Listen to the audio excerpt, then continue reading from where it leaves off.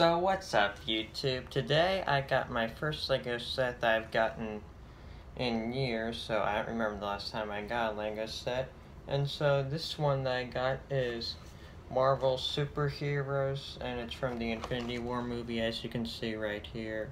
It was super cheap for a LEGO set, so that's the reason why I chose this one. Also because it has Captain America in it, and it's called Outrider Dropship Attack.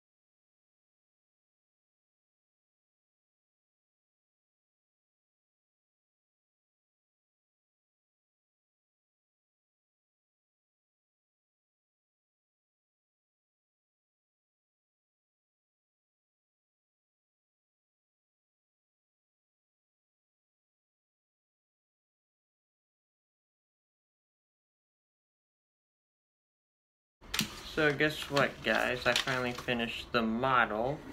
And so here's Black Widow and Captain America. And here's the dropship itself, and I think it has a feature right here where you can fire. Let me adjust it. Works great to me. Another thing you might want to notice if you buy any of these LEGO Infinity War sets is they all come with four infinity stones and so I have four blue ones and as you buy more of the sets they come with even more infinity stones and then you can get Thanos and then the infinity stones will fit in his gloves so I think that's pretty cool.